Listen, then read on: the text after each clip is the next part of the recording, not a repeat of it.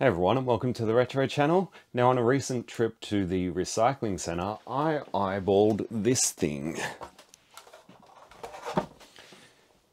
It is a 4x3 LCD display. Now a few things that caught my eye with this particular panel. First of all, it's 4x3. Second of all, it's got inputs for composite, S-Video, SCART and VGA along with analog and digital tuners. Uh, there's also an inbuilt DVD player, but that's neither here nor there. Now obviously I'm a massive fan of CRTs, but something like this might just be perfect for a little retro gaming setup. At least it's good enough to be able to test certain systems, uh, be it from the Atari 2600, which only has an analog video RF output, all the way up to probably, you know, the first PlayStation, thereabouts. Um, anything beyond that, you probably want to look for something with component that can do 480p or above. And generally, I'd prefer like a widescreen flat panel for, you know, systems from the PS2 and original Xbox onwards. But for something like this, it might be just perfect for retro gaming. The big question is, how laggy is it and does it handle 240p correctly? Now for those who have watched the channel before, you've probably seen me pull out this thing. It is a little LCD display that I pretty much put together from random parts from AliExpress. The problem with it is it only does composite. Uh, it does have VGA and HDMI and also uh, an analog RF tuner, but it's missing the S-Video and it's missing RGB SCART. So while it comes in handy for doing a quick test of things, um, yeah, it's not the kind of thing that you really want to set up and try and play games on. It's a tiny screen.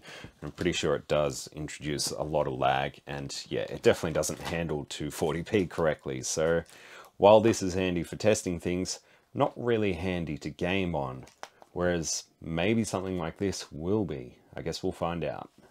Now, a few people have asked about what this thing is and how they could possibly build their own, so I may cover this in a future video, but um, yeah, leave me a comment if you're interested and I'll um, prioritize that.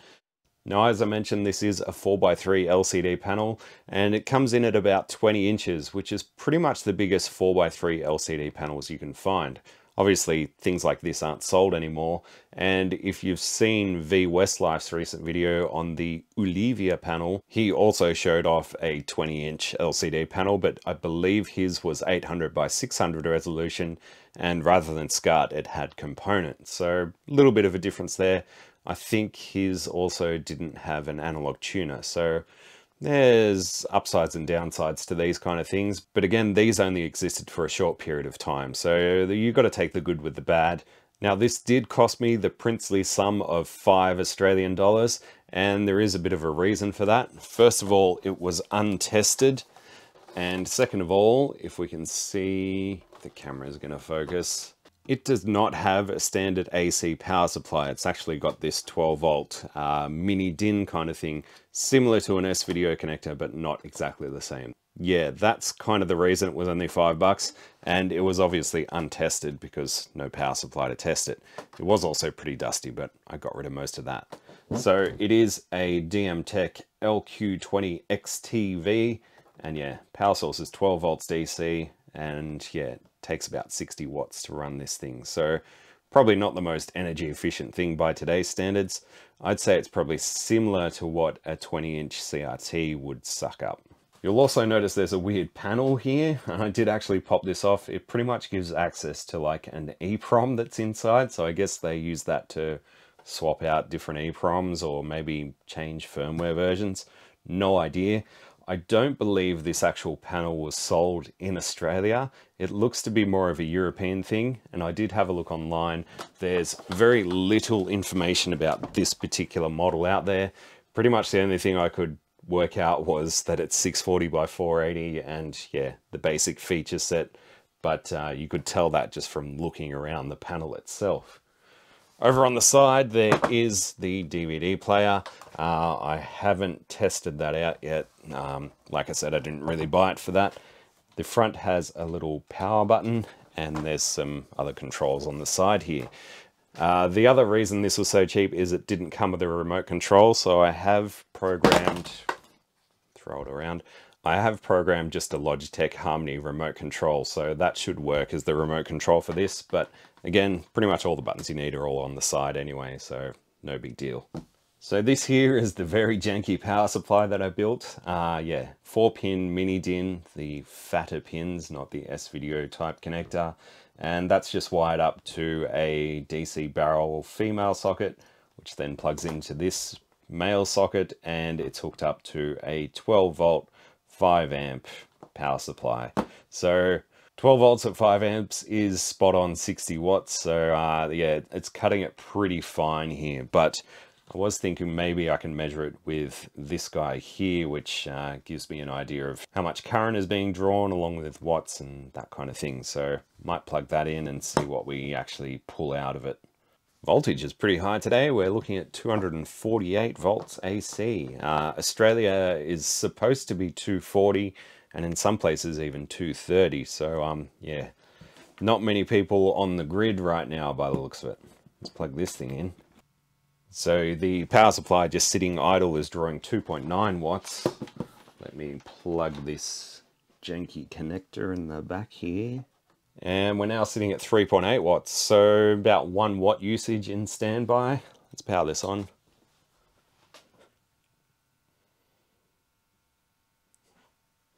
Oh, there we go.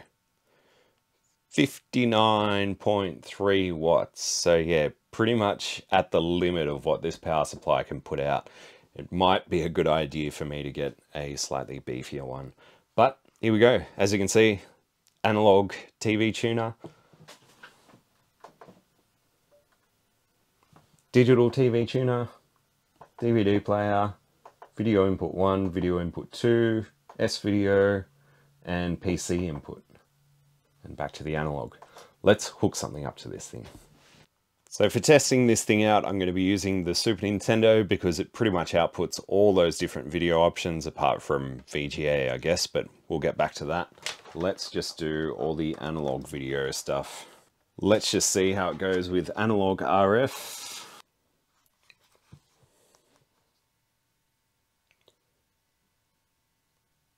Huh.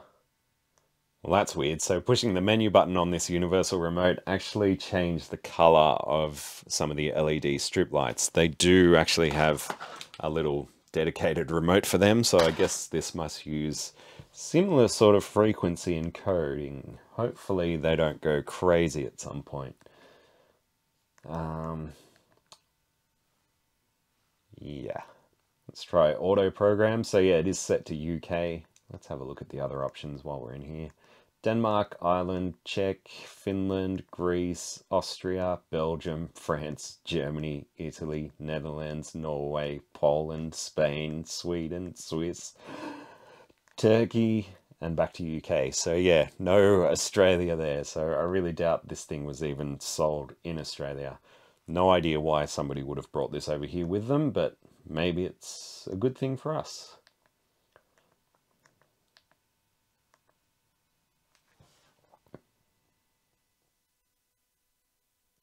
Go.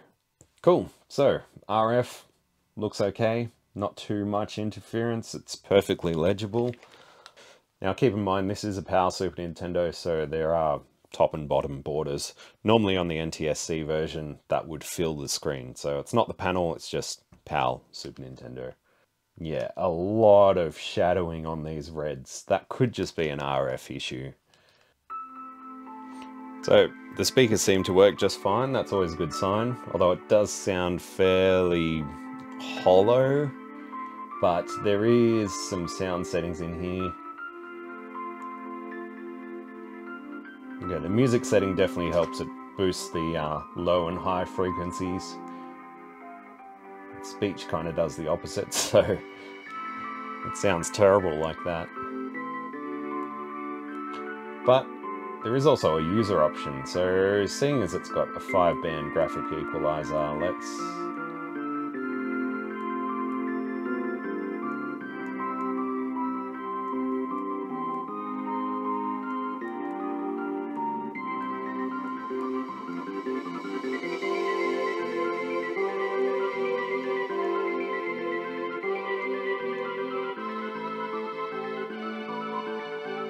that actually sounds pretty decent compared to the standard.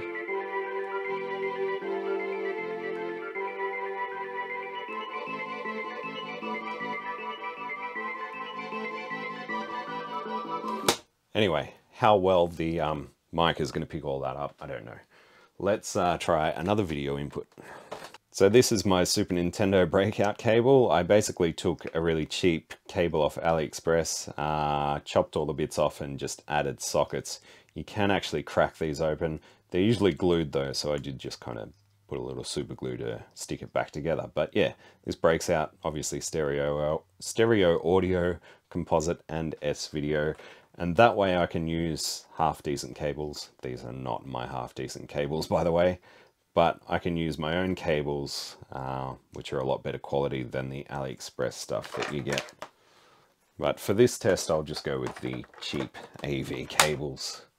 All right, uh, let's try and switch inputs, see if my lights behind me go crazy again.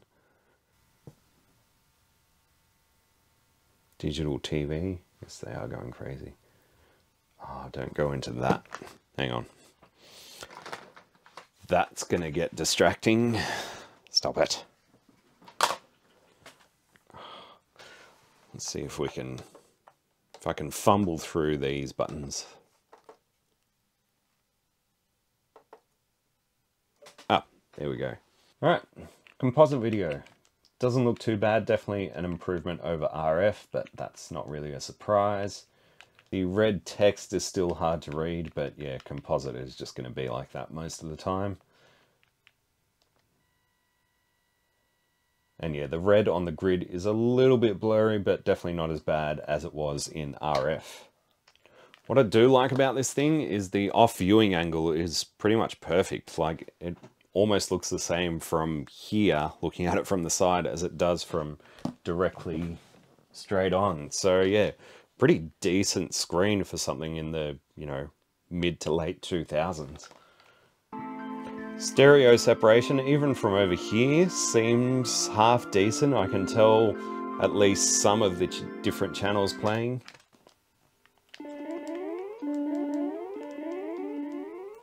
Yeah, it's not bad considering the speakers are just mounted on the bottom. It's got decent separation. Let's push it up to S-Video. For S-Video, I do use like a decent cable because uh, S-Video, it's a lot more prone to interference if you have like a cheap non-shielded cable. Let's try not to disturb the LED lights. There we go. And yes, as expected, S-Video looks a lot clearer. And that red text is pretty much solid. There is a little bit of blur to it, but that could just be the Super Nintendo itself. Yeah, those lines aren't perfect. It could also be, because this is a 640 by 480 LCD panel, so it's obviously fixed pixels, it may just not be scaling those things, you know, correctly to two or three pixels, I guess. The output resolution of the Super Nintendo is something by something yes, S-Video does definitely give a boost in clarity. Uh, obviously, the audio is going to be the same because we're still using the same audio inputs. Let's go up to RGB SCART.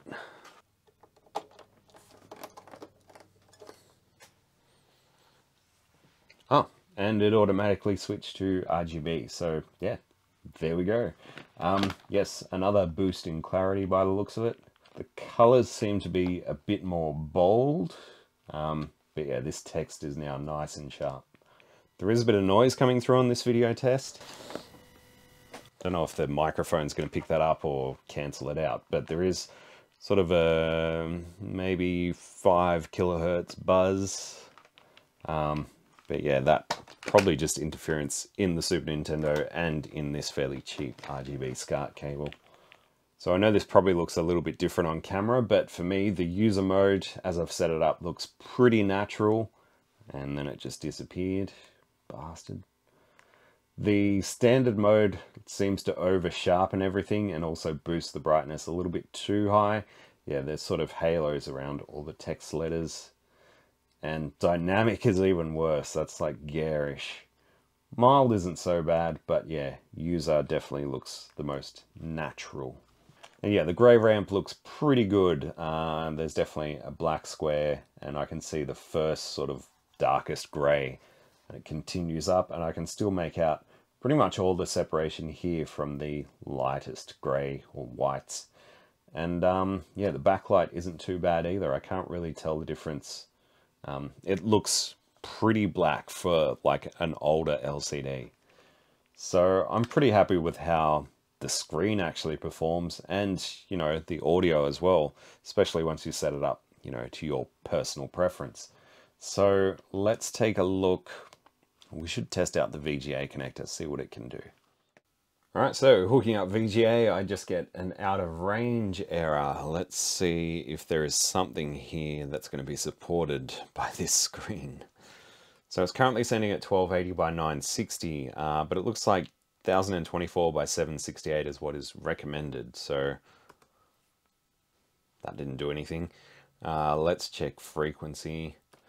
So it's set to 60 hertz on the dot, but there is an option for 60.004 and 75.029. Let's try 60.004. Ah, there we go. So even though we're actually sending it a lot higher resolution than what the panel is actually rated at, um, again, this is 640 by 480 and we're sending it 1024 by 768. It it's still legible. I mean, it doesn't look great if you look up close at some of the um, the little icons and obviously the time here, but I can still make out that that says 1203, 3010, 2022. So it still works as a PC display. Um, let's see if 75.029, very specific frequency works. And it does. Um, the image is a little bit off center. There is a gap here, and I think it's just cutting off a few pixels on that side, but now have PC options. All right, so we can play around with frequency, phase, horizontal and vertical position, or we could just go auto adjust. Did that do anything? Oh, there we go. Right, that looks better. It's now centered. Yeah, Text still not great, but um, you know, given that we're sending it a higher resolution than what it actually can display, it's not too bad. Obviously, like I wouldn't be using this as a PC display anyway. I was more interested to see what it could support over VGA. So you can see what I'm seeing. There we go. Um, this is going to be a little bit backwards for me now, but see if I can do this without confusing myself. Uh, let's try 800 by 600. Yep, that worked. Mouse is on the other screen at the moment. Here it is. um, yeah, not too bad at 800 by 600. It doesn't look like this actually goes down, like this laptop actually goes down any lower than that. So I don't even know if I've got a computer that can do like 640 by 480 or EGA kind of things. I probably do, but it probably doesn't work. So um, probably about the extent that I can test uh, the VGA connector with. So it works as a VGA display, but it's not really something that I'd be too concerned about using. In fact, 1280 by 960 would be double the resolution of this thing. So it would actually kind of be handy if that worked Um, because then yeah everything should scale out correctly to just two pixels but it does not like 1280 by 960 by the looks of it what are you gonna do so I guess the big question how does it handle 240p and how much lag is introduced on this thing let's find out Right, so I've got our 1084 here. We'll look at that in a second, but one thing I realized I forgot to do was test this with an NTSC signal. So this is a Super Famicom, which should put out a standard NTSC signal. And yeah, it handles NTSC just fine. So for composite and S-video, this will make a difference. Um, once you get to RGB and component, they have different color encoding. So NTSC and PAL becomes a non-issue. And yeah, you can see on the NTSC version that it pretty much fills up the entire screen vertically. So this is just what you'll get with NTSC and obviously PAL, uh, it'll be a little bit squished down for a Super Nintendo anyway. But yeah, even on composite, it seems pretty decent. So um, now that that's out of the way, let's lag test this thing. Okay, so to do the lag test, we've got S-Video hooked up to the LCD panel and I've got composite running to the CRT. Obviously, you don't want to do this for too long because you're pulling two video sources out of the same console, so it could do damage if you try and run both video outputs long term, but I think for a short test, we should be okay. Let's just start off with the drop shadow test, and it looks like the LCD is handling 240p just fine. Well, that's unexpected. Uh, there is also the stripe shadow test. And yeah, again, as you can see, the LCD looks exactly the same as the CRT, so it seems to handle this just fine. See if I can get it to disappear. Yep.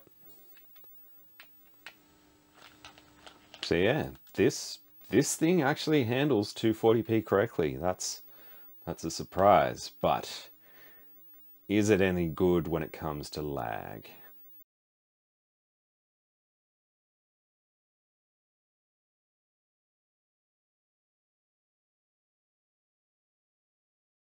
So for this test I actually used my phone camera because it can record in super slow motion and uh, the results speak for themselves I think. It looks to be under a frame of lag, which is pretty impressive for an older LCD panel. About the only real issue I can see with the lag test is the refresh time is a little bit slow, so it kind of looks a little bit laggier than it actually is, but that's just because the LCD doesn't update the uh, pixels fast enough. So it may tend to smear fast moving objects a little bit, but that's perfectly fine with me. I wouldn't expect anything too much from such an old panel. Now, unfortunately, I don't have a time sleuth as much as I'd love to have one, but uh, I think due to the part shortage, they're pretty hard to get and uh, quite expensive at the moment. So uh, this is about the best I can do with the tools available. But um, yeah, I think it does prove that there's pretty much what would feel like zero lag on this panel.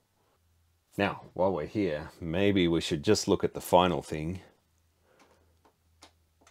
The DVD player. Why is that not opening?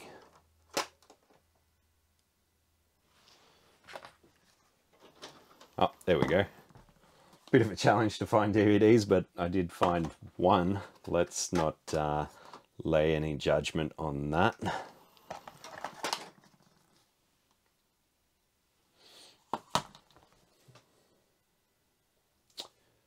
Ooh, so we've got disk loading, no disk. I can hear it is trying to read it, but dare I say the DVD player on this is not working. And now it's given up with no disk. What's kind of weird, if I swivel this around, yes it does have a swivel base, uh, the actual, the stop button seems to make it open and close, whereas the open and close button seems to do stuff all. So it's a bit bizarre, but yeah, this thing looks to be in perfect shape. So sounds like there's an issue with possibly the laser or something else. Let's try a CD.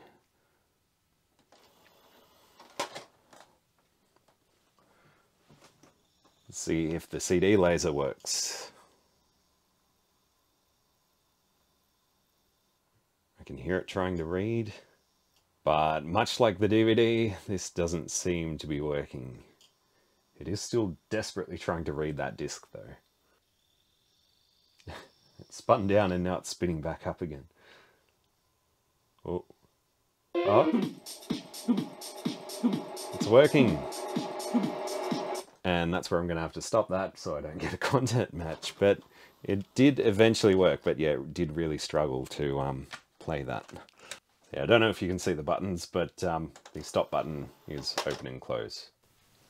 Bonkers.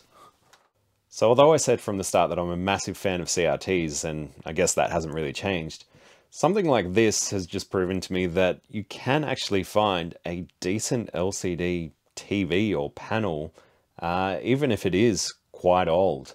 Obviously, you know, you're not going to buy this new in the store anymore, but you may see something like this in a thrift shop or a recycling center or op shop or whatever you want to call it in your area.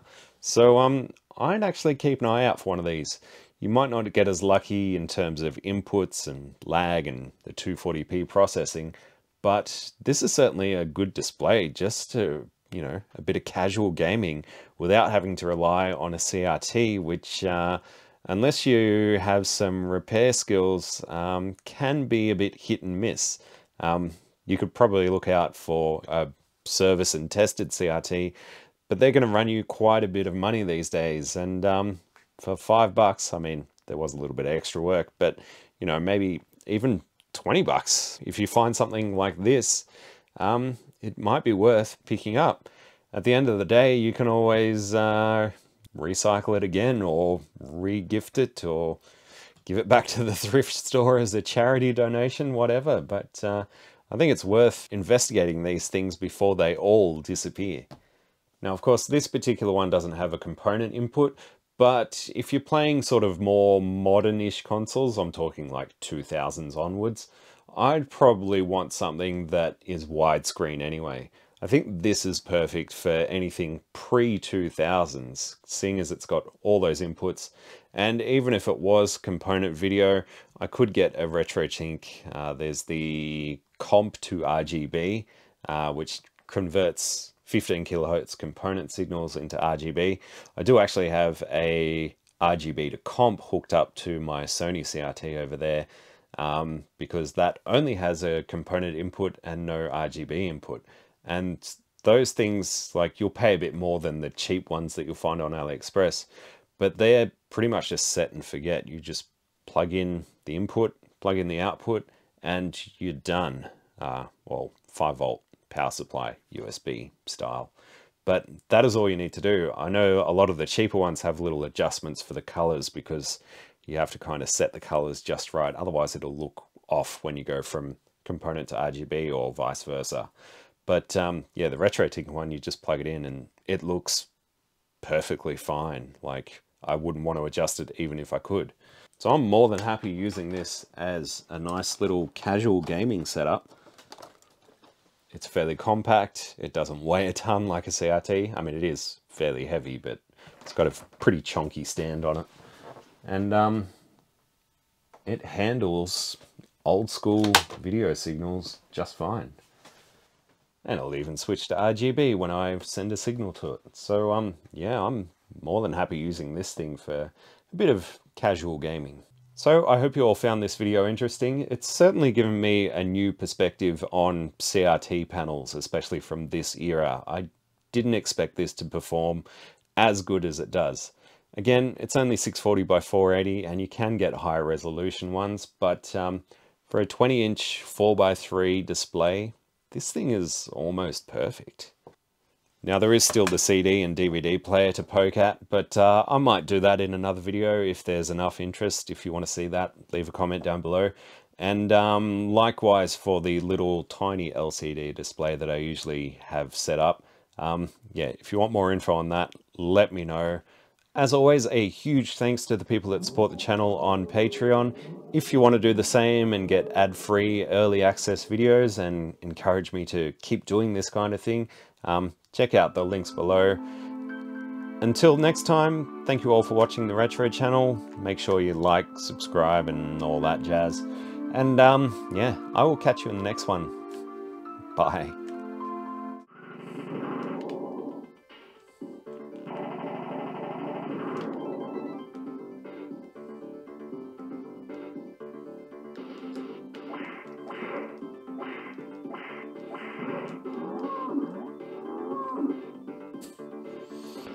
So ridiculous. Love it.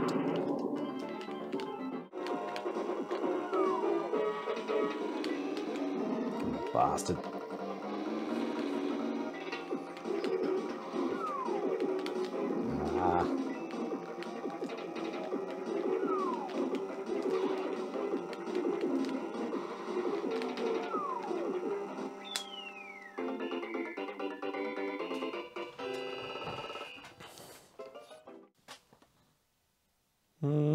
Power supply is warm, but it's certainly not hot. It'll be fine.